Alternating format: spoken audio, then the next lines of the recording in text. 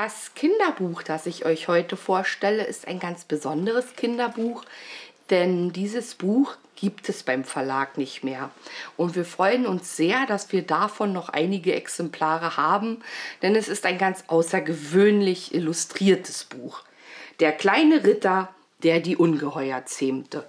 Die Geschichte ist schnell erzählt, denn es geht um den kleinen Ritter, der eines Tages auf seinem Schloss von seinem Schloss geholt wird, um Ungeheuer zu zähmen.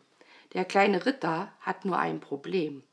Er ist ein sehr friedliebender kleiner Ritter und Streit mag er gar nicht.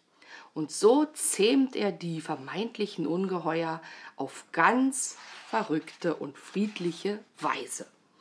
Und was das Besondere an diesem Kinderbuch ist, es wird also nicht nur die Geschichte vom kleinen Ritter und den Ungeheuern erzählt, sondern man kann auf jedem großen Bild des Buches noch kleine Einzelheiten erkennen.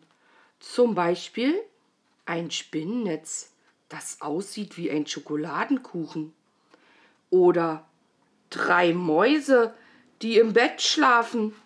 Und dann beginnt das, was mit, beim Lesen mit Kindern so viel Spaß macht.